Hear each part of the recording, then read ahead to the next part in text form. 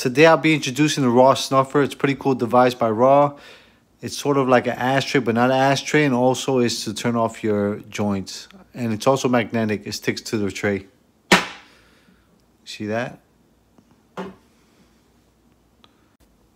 So it acts like an ashtray. You just ash right in the middle of it. Also, if you want to save the clip, you could just kind of snuff it in there. And to get all the excess uh, ashes, you go on the side and give it a little rub right there again. And you can turn it off and then you lay it right on top. And there you go. Save it for later.